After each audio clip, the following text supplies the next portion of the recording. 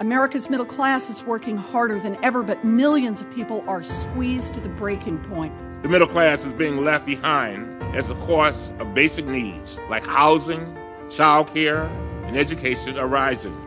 If we do not change the policies that cause the squeeze, more families will fall out of the middle class, unable to cling on to the same economic ladder their parents reached. It's time for action.